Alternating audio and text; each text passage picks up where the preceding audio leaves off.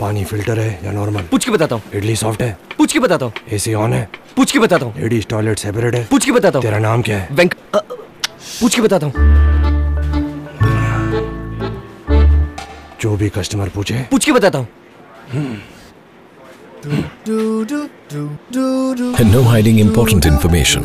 Know exactly what you're paying for anytime.